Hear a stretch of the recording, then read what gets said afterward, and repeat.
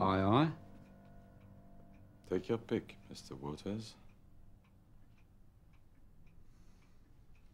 An Uzi? I'm not from South Central Los fucking Angeles. I didn't come here to shoot 20 black 10 year olds in a fucking drive by. I want a normal gun for a normal person.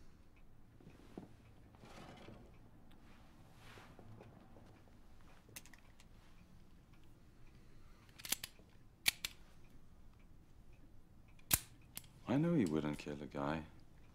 I could see it in his eyes when I was telling him about the alcoves. Uh, about the what? The alcoves, the, the alcoves in the Koningin Astrid Park. Oh, I also have some dum-dums. You use this word, dum-dums? The bullets that make the head explode? Dum dums, yeah. Would you like some of these dum-dums? I know I shouldn't, uh, but I will.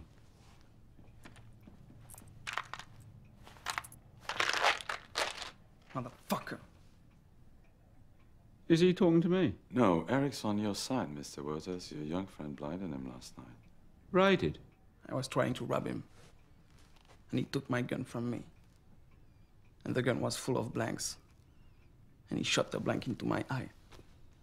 And now, I cannot see from this eye ever again. The doctors say. Well, to be honest, it sounds like it was all your fault.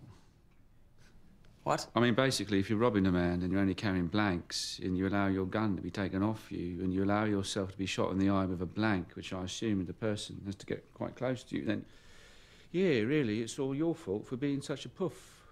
So why don't you stop whinging and cheer the fuck up?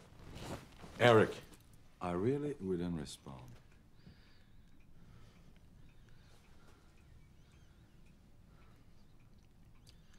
Thought you wanted the guy dead. I do want the guy dead. I want him fucking crucified. But it don't change the fact that he stitched you up like a blind little gay boy, does it?